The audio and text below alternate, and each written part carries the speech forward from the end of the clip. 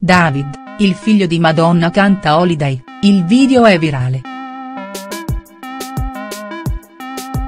David Banda, giovane promessa dodicenne del Benfica, non era ancora nato quando, nel 1983, sua madre Madonna era solo una ragazza americana che tentava di sfondare nel mondo della musica con il brano Dance Holiday.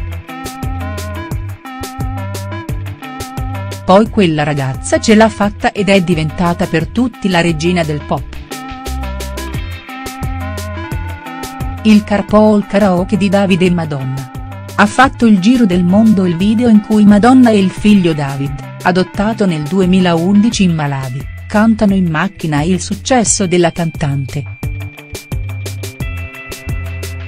Nel video, pubblicato dalla stessa Madonna sul suo Instagram, si vede il piccolo cantare e ballare in macchina, mentre Madonna è alla guida. Il pezzo in sottofondo è proprio Holiday e Madonna scrive nella didascalia, dai, David. È il tuo compleanno. Dobbiamo festeggiare.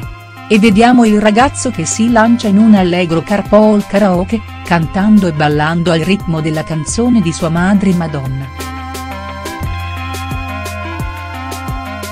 Nello stesso giorno, la cantante aveva pubblicato una foto del periodo dell'adozione, in cui si vede lei stessa che porta sulle spalle un piccolissimo David. Nella didascalia, Madonna scrive, Buon compleanno al mio piccolo bambino. David Banda. Vorrei ancora portarti in braccio in stile Bapu. La cantante è legatissima al piccolo David, tanto da essersi trasferita in Portogallo per lui. David Banda, infatti, è stato tesserato dal Benfica lo scorso gennaio, dopo aver superato diversi provini.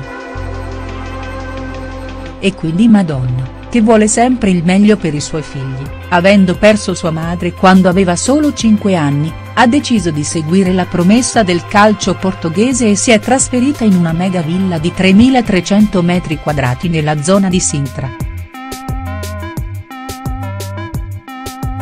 Gli altri figli della cantante sono Lourdes Maria, nata nel 1996 dalla relazione con il suo personal trainer Carlos Leon, Rocco John, nato nel 2000 dal matrimonio con il regista Guirit Kie.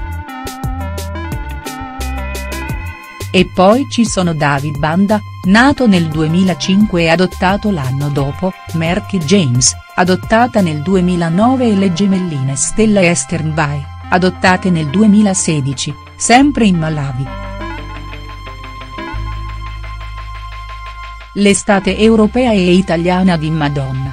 La cantante americana non è nuova a trasferimenti in Europa, già all'epoca del matrimonio con Gwyneth Kie non ci aveva pensato due volte prima di trasferirsi in Gran Bretagna, paese di origine del marito.